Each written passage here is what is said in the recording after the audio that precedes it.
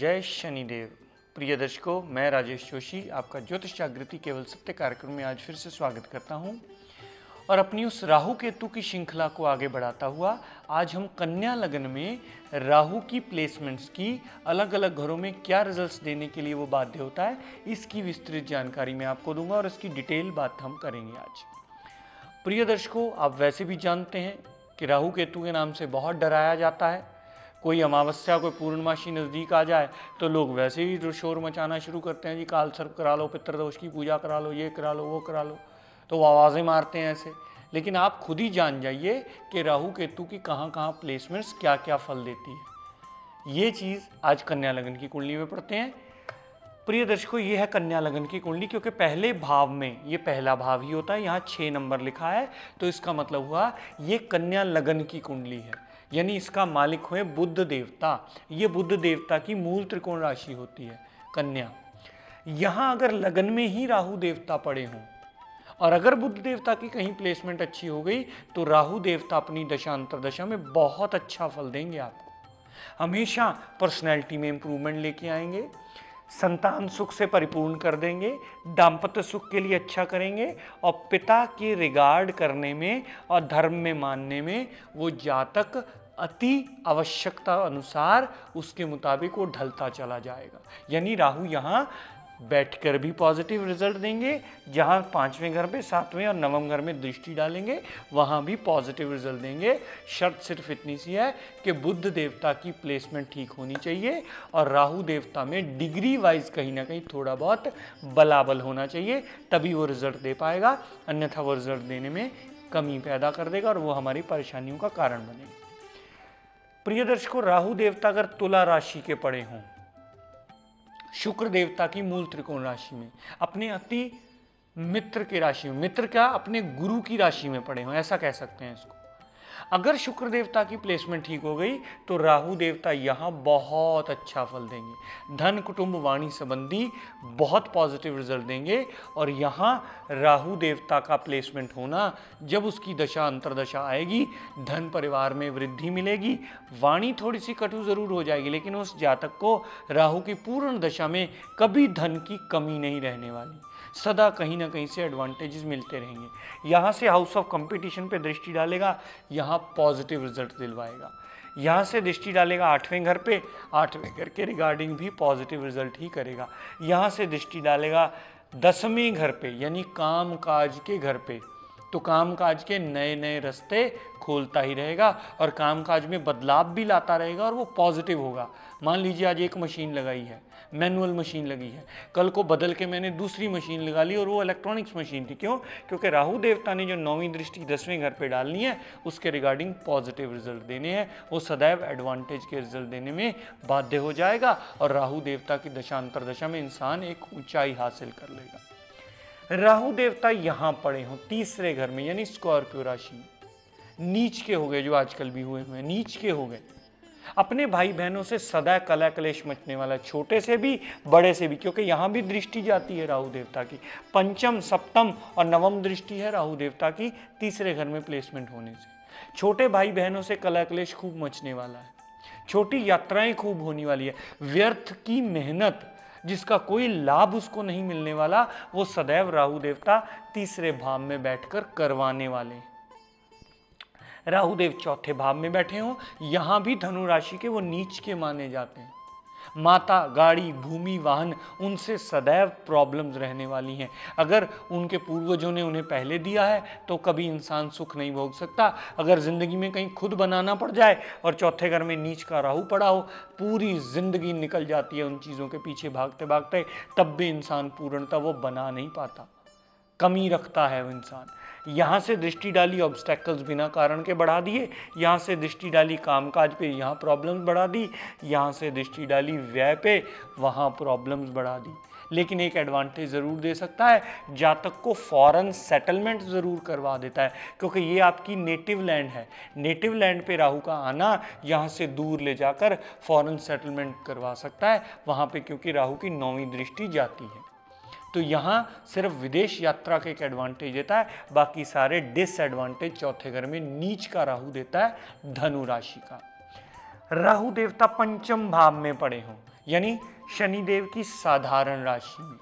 यहाँ राहु देवता बहुत बड़ा एडवांटेज देते हैं, अगर शनिदेव की प्लेसमेंट थोड़ी सी भी सही हो जाए तो। पुत्र प्राप्ति का योग कंफर्म कर देते हैं, क्योंकि राहु खुद पुत्र प्राप्ति के कारक हैं, मैंने पहले भी बताया था, आपको आपको ध्यान होगा इस बात को, याद रखिए और नोट भी कर लीजिए। राहु देवता भी बृहस्पति की तरह पुत्र प्राप्ति के कारक माने जाते हैं। स्टमक बहुत मज़बूत होता है। इंसान का माइंड बहुत ज़्यादा चलता है, वो हर चीज़ को पहले ही तोल मोल लेता है। इंसान गलत रास्ते से भी पैसे कमाने की कोशिश करता है, अगर राहु देवता पंचम भाव में पड़े हों तो।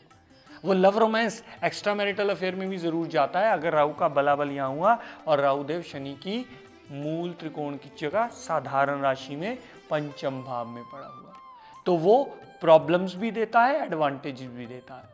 प्रॉब्लम्स इसलिए कि दिमाग ज़रूरत से ज़्यादा चलने लगता है एडवांटेज संतान संबंधी पेट संबंधी और अनसर्टेन गेन संबंधी, जुआ, सट्टा लॉटरी इन सब चीज़ों से वो यहाँ पंचम भाव में पड़ा हुआ राहु एडवांटेज देता है। हम अक्सर लोग से कहता भाजी तुम लॉटरी पा लिया करो। साल च कदी लॉटरी ज़रूर पा लिया करो। क्यों? क्योंकि पंचम भाव में पड़ा राहु अनसर्टेन गेन दिलवा सकता है, अपने अति मित्र के घर में पड़ा हुआ। छठे भाव का राहु पड़ा हुआ, यानी शनिदेव की मूल त्रिकोण राशि का पड़ा हुआ, कुंभ का राहु पड़ा हुआ।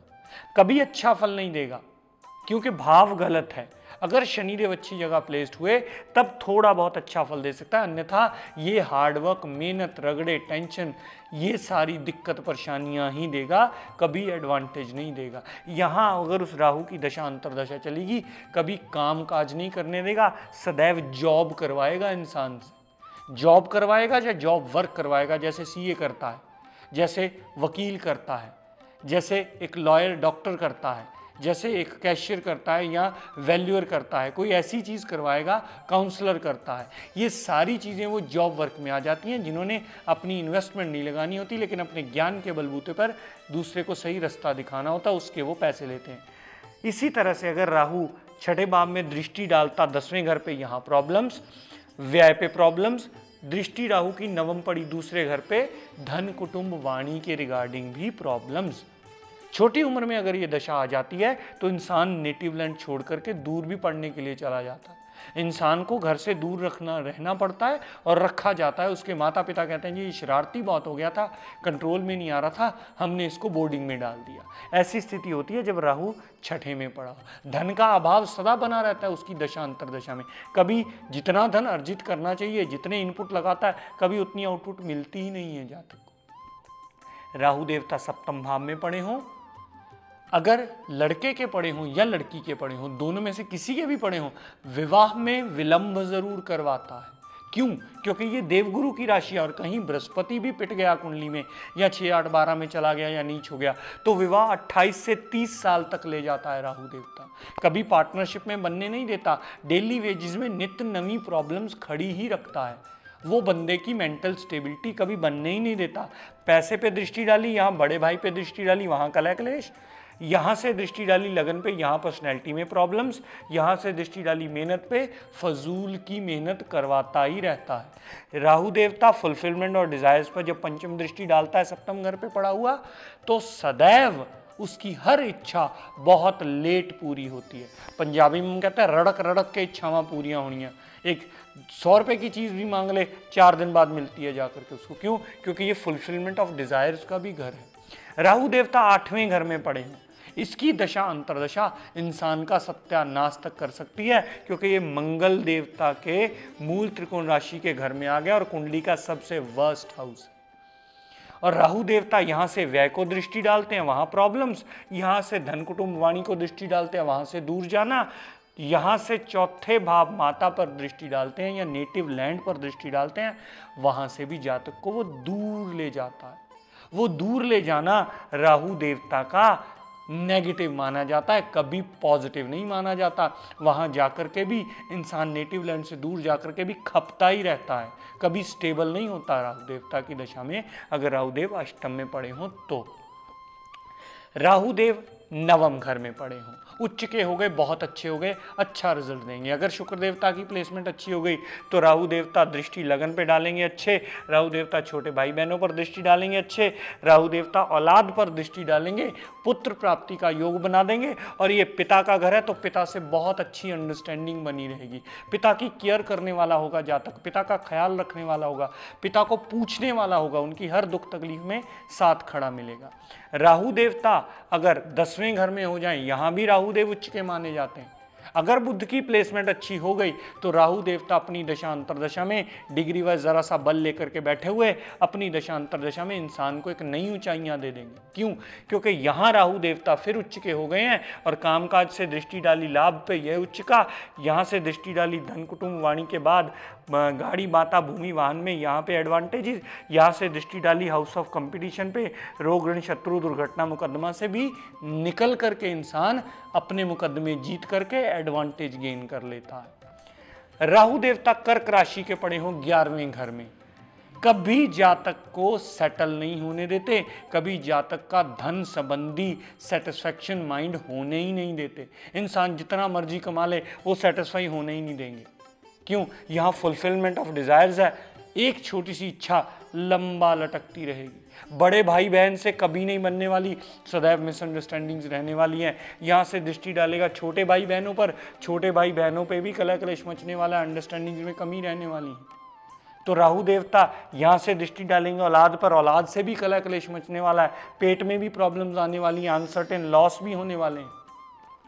यहाँ से राहु दृष्टि डालेंगे मीन राशि पर, यानी सप्तम भाव पर पार्टनरशिप में प्रॉब्लम्स मेंटल पीस में प्रॉब्लम्स यहाँ पर डेली वेजेस में भी प्रॉब्लम्स दाम्पत्य सुख में भी प्रॉब्लम राहु देव सिंह राशि के पड़े हों, कभी अच्छा फल नहीं देंगे पूरी ज़िंदगी में, सदैव इंसान को भगाते ही रहेंगे फॉरेन सेटलमेंट ज़रूर कर देंगे, क्योंकि यहाँ से दृष्टि चौथे भाव पे डली, यहाँ से दृष्टि छठे भाव में डली, वहाँ प्रॉब्लम्स यहाँ से दृष्टि आठवें भाव पे डली, वहाँ भी प्रॉब्लम्स ही देंगे. राहु केतु का एक मूल नियम है, प्रिय दर्शकों, नोट कर लीजिएगा। अगर वो मित्र के घर में बैठे हैं और उसका मित्र अच्छी जगह प्लेस्ड है, कुंडली में बल लेकर के बैठा है तो राहु देवता, केतु देवता अच्छे फल देंगे, अन्यथा सदा प्रॉब्लम्स ही देंगे अपनी दशा दशा में, क्योंकि वो प्रॉब्लम्स के कारक हैं। सदैव इस बात को ध्यान रखिएगा, इसी पर आपकी पूरी कुंडली का निर्णय टिका हुआ है, इसी पर आपकी पूरी कुंडली का फलादेश टिका हुआ है कि ये अपनी दशांतर दशा में कैसे रिज़ल्ट देंगे, आप इसको इस तरह से कैलकुलेट कर सकते हो। राहुदेव तभी अच्छा फल दे सकता है जब वो अपने मित्र के घर में बैठा हो और मित्र भी साथ में अच्छी जगह बैठा हो। अगर उसका मित्र, जैसे मान लीजिए राहुदेव शुक्र के घर में बैठे हो और शुक्रदेव स्वयं नीच के हो जाए।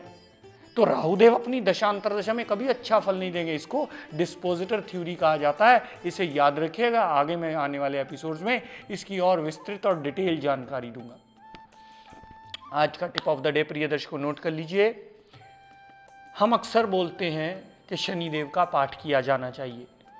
शनिदेव का रात को सिमरन किया जाना चाहिए। रात को सोने से पहले अगर आप सिमरन करते हो तो शनिदेव का प्रसन्नता के लिए हेल्पफुल होता है। शनिदेव की प्रसन्नता हेल्पफुल होकर के हमें शनिदेव के नेगेटिव प्रभाव से बचने के रास्ते मिल जाते हैं।